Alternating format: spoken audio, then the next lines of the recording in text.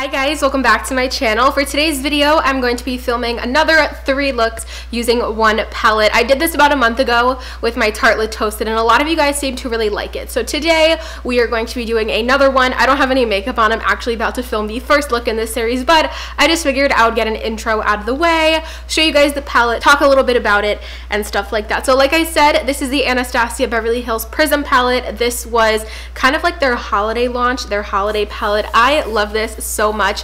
I recently just got this. If you guys want to see some really awesome up close pictures that I took, I'm really proud of them. I think they came out so well. They are on my Instagram. It is at Jackie Ann Makeup, just like all my other social medias. But I decided to get this one instead of the Soft Glam palette for now, just because I had about six of the shades that came in the Soft Glam palette, and this was just so intriguing to me. For a long time, I was kind of toying with it, and then when I saw it in person, I was like, yeah, that's definitely a palette that I'm going to be getting use out of. That's really different. I don't have anything like it in my collection. So this is what the palette looks like. It has that gorgeous felt that all of Anastasia's palettes have so soft and then it has this really gorgeous gold prism design. You guys know I love black and gold together so this is a really gorgeous palette. And then of course when you open it up on the inside I just think the array of colors in here are so different and so beautiful. So this is the inside right here. I'm looking down at my monitor just to make sure that you guys can see but the colors are just unique. That's the best way that I could definitely describe them. You are definitely getting a nice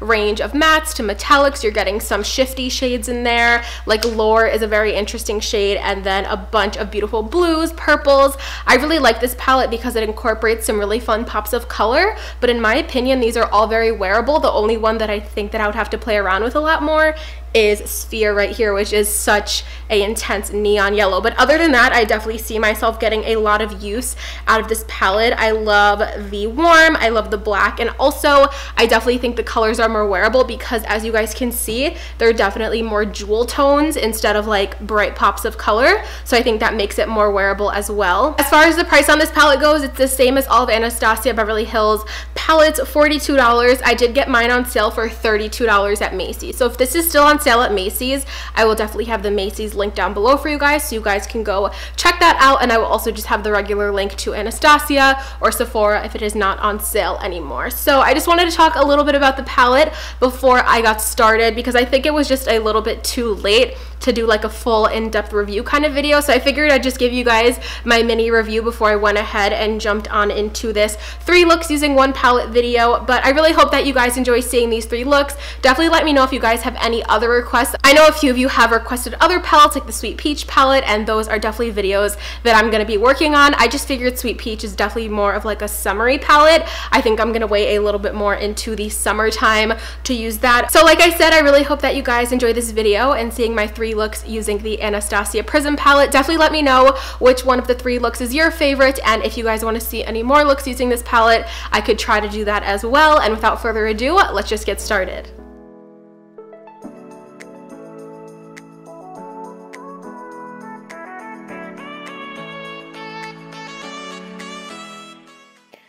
Starting off with look number one, first I'm going to be taking the shade Unity on my fluffy Wet n Wild blending brush and I'm going to be running this back and forth through my crease. This doesn't show up too much on me. It's definitely only like a shade, a shade and a half darker than my skin tone, but I still like to put that basic transition shade down just for a little bit of depth depth to start off and then I'll build up that shade with another one after.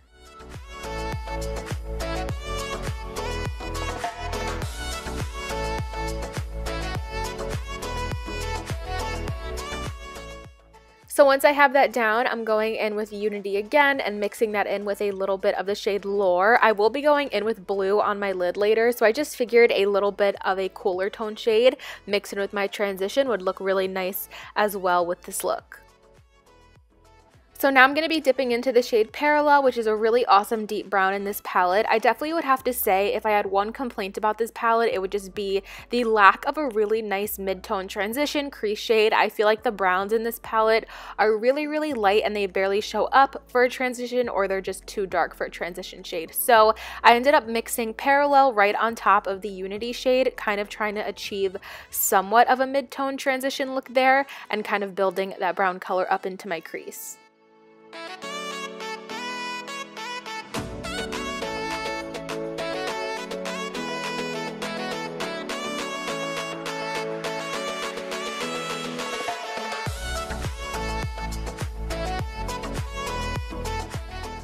Now I am taking that same exact brown shade parallel from the palette on a little bit of a denser and smaller brush. This is the Morphe M433 and I'm going to be building this up even more in the crease and really packing this shade onto my outer corner. Like I said, I am going to be putting down some blue and I love how deep brown and blue look together and I think that it'll just make a nice contrast and I just really like it.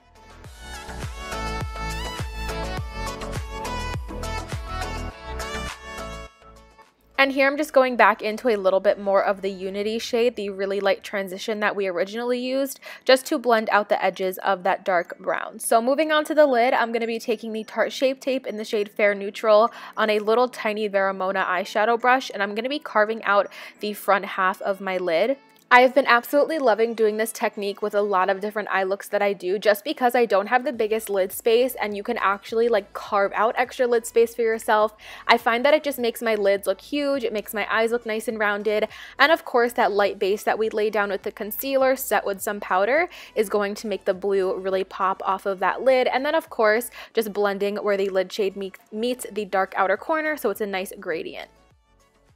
And now for the star of the show, I'm going to be going in with the shade Dimension all over my lid where we put that concealer. I absolutely love this shade, you guys. It's definitely one of my favorites from the palette, and of course it pulls really blue, but it's not a super intense blue. I definitely see some gray, a little bit of a purple vibe in there. It's just such a unique shade, and I think it pairs so well with the brown outer corner. So I'm just going to be applying that with a flat Morphe brush, dry, and then going in over with it wet to make it more intense and then patting some color on top with my finger just so I can make sure I'm getting the most intense color payoff as possible.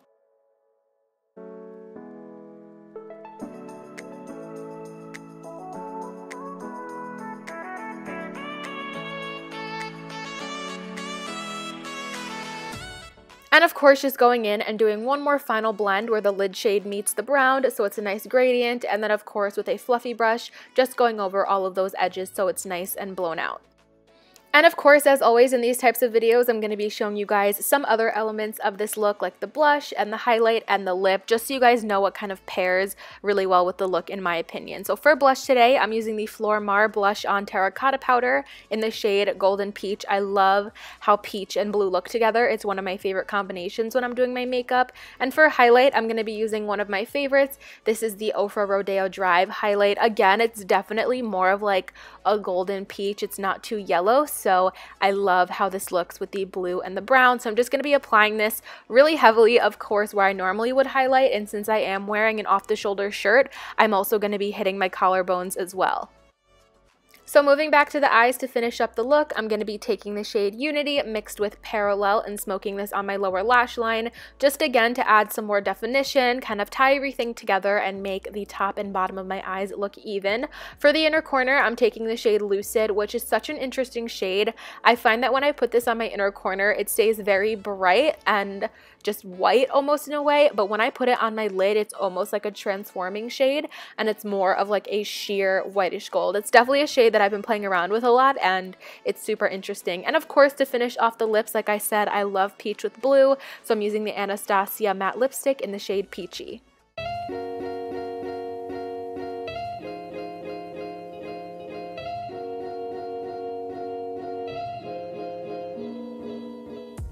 Moving on to look number two, which is definitely a lot more warm than look number one. I'm going to be taking the shade Sphere, which is the bright neon yellow that they included in this palette. I thought I would have a lot of trouble making this color work on my skin tone, but I actually find that it makes a really nice transition shade, especially when just blended out really lightly with a fluffy brush. So I ran that through my crease again, just very lightly. I definitely think that you can get this color to be way more intense if you packed it on top of a white base or something like that, but I wasn't feeling that adventurous. So here I'm taking the shade Eden on my Morphe M433 and I'm running this through my crease. I want to do a really warm halo eye today, so I'm running it through the crease as well as focusing the shades on the inner and outer corner of my eyes as well.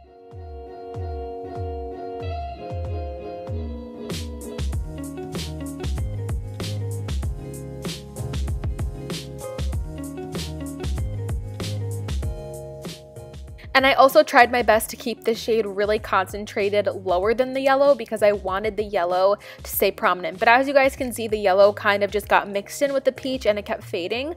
So you guys are just to see me a couple times throughout this video go back and add a bit more yellow on that transition line so we have that really fun pop of color up there.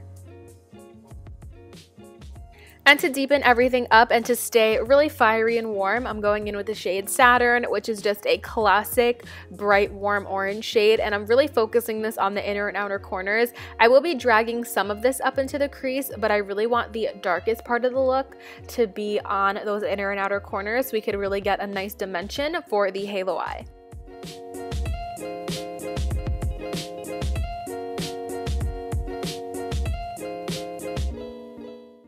Here I'm taking the shade Eden on a small fluffy brush and I'm buffing this back into the crease. I just felt like I needed that shade built up a little bit more to merge the deepest orange with the yellow so it was more of a gradient. So it went from lightest to darkest from top to bottom just to merge all the shades and make everything look like one and nice and pretty and blended. You guys know what I'm trying to say.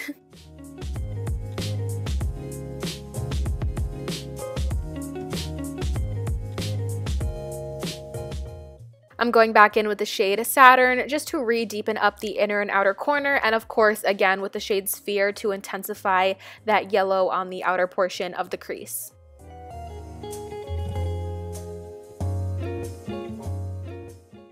We are going to be going back in with my Tarte Shape Tape in the shade Fair Neutral, but this time I'm just going to be placing it on the center to emphasize that halo eye. Sometimes when I'm blending all the colors, it's hard to avoid the center of my lid, so I'm just going to clean up and erase some of that shadow with concealer and pat it in with my finger to try to blend it out. So first for my lid, I'm going in with the shade Pyramid, which is just a really stunning classic gold, and I'm packing this on the center, but I felt like I wanted something a little bit more fiery, so I'm placing Eternal right on top to warm things up.